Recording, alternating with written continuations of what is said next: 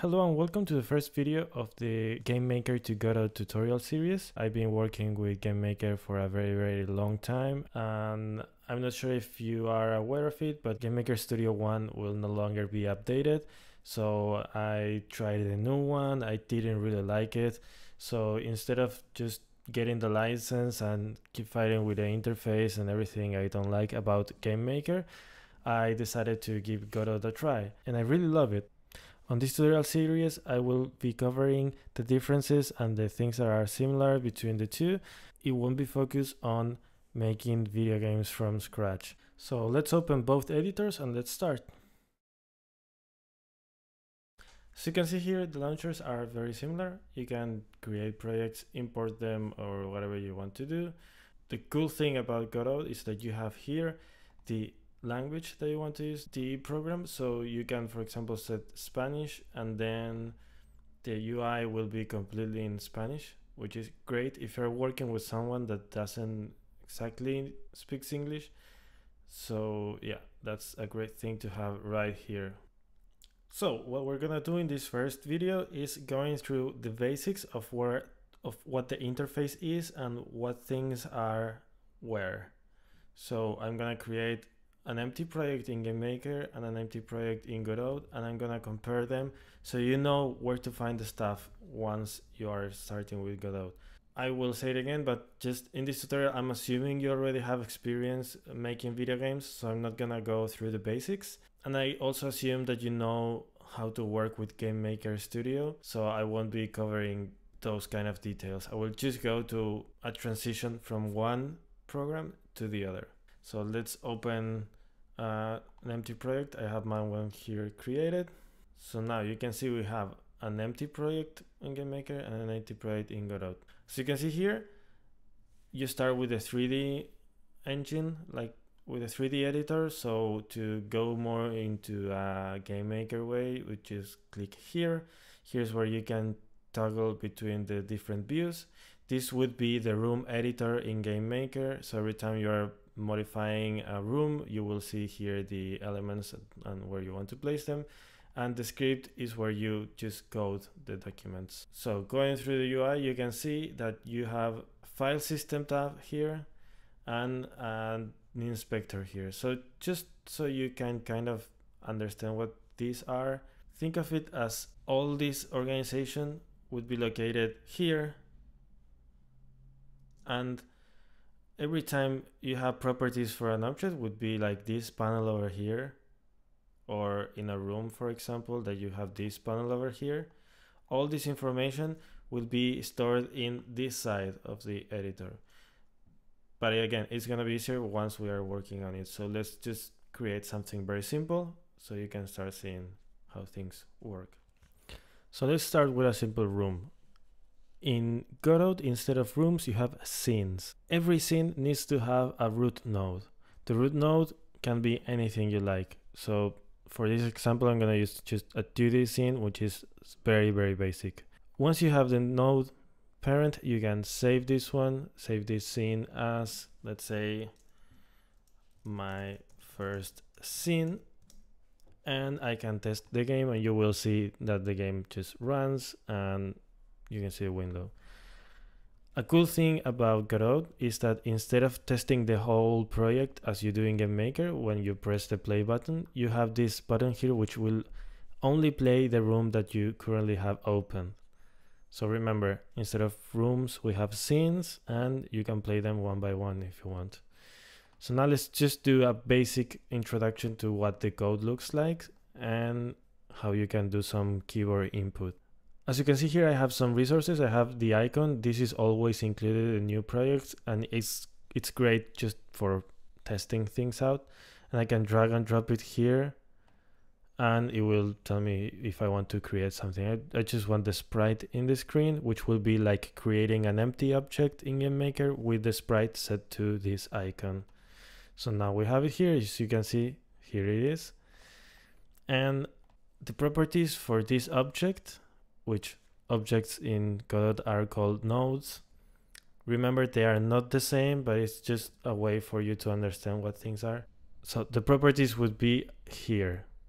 Here you have the position where it is, the scale, the depth, and all those kind of properties that you would have in the regular game maker here. Let's gonna add some code. In Game Maker, you have events. So everything is run by an event. And if we want to do some input, you can either use the key press event or the step event. The same could be done in Godot, so I'm gonna go with the step event.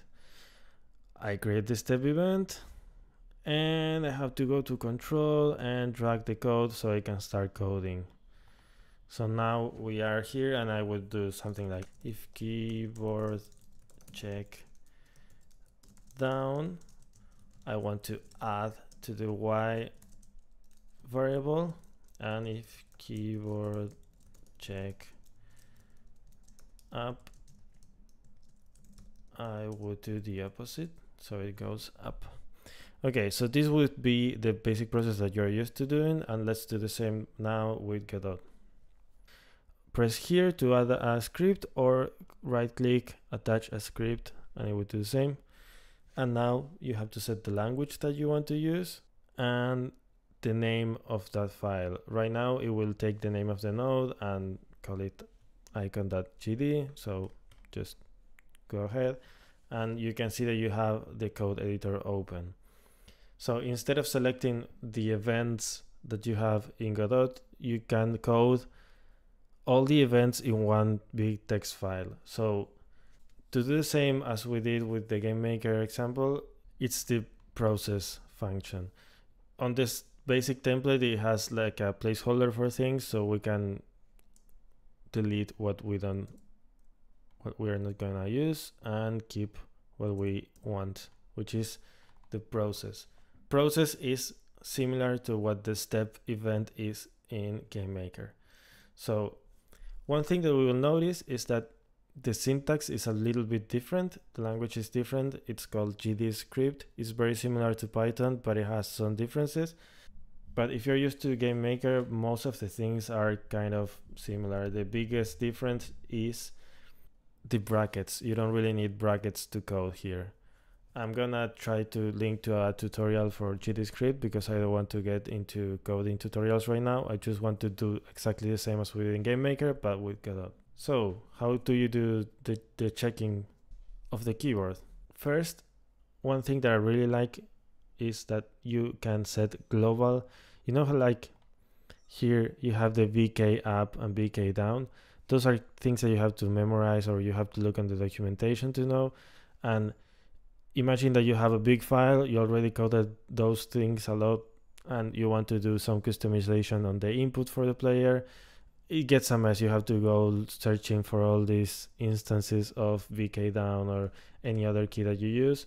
In Godot, you have in the properties of your project, which are here in project settings, the input map, which is a name, like a variable name, to handle the input. And one action can have different input devices. So, for example, if you want to do the same logic with a joystick and a keyboard, you can do so. If you have a big project, chances are that you already created something like this in the Game Maker IDE just so you have the same functionalities. Let's create the move down action and the move up. And now I'm gonna set keys. You can press here and select you want to use a key. So to go down, I will press the down key on my keyboard and when I have it, I can confirm. Same with the up. I press the up keyboard and yeah, the up key, not the up keyboard, sorry. Okay, so now we have them and let's gonna check for them. If input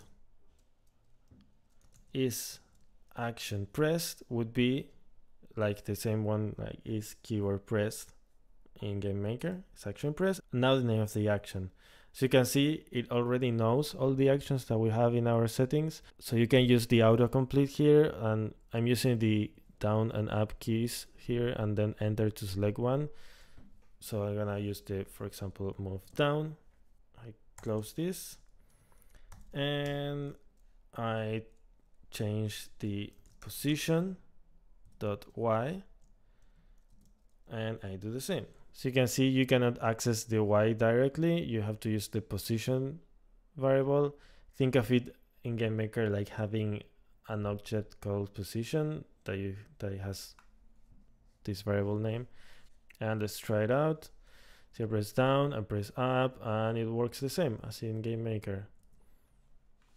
So to know the name of those variables, I create a GitHub repository with all the different finds, all the different names and equivalents of how you would do things uh, in Godot. So if you want to know, for example, how to create a, a draw a rectangle, you know that in GML you do it like this, in Godot you do it like that, and I add some examples so you can compare. So it's very useful for me, especially when I was learning the, the equivalent names uh, to check here. You can, you know, control F and do, I don't know, how you delete an object. So I tap delete and here you have instance destroy. So I can, okay, I know that GML instance destroy is this function, how to do it in Godot. And yeah, that's very useful to have. Back to the code, if you want to go back to the room editor, for calling it something like that, you can go here to the 2D tab and here you have the scene and everything. So now I'm gonna add the other keys that I wanted to use so we can move in all directions. So you can see here, this number one is the speed. So if you want to use a variable in GameMaker, you can create them in the create event. So in GameMaker, let's say that we want to create the variable movement speed to be 2 and now here I know I can use movement speed to access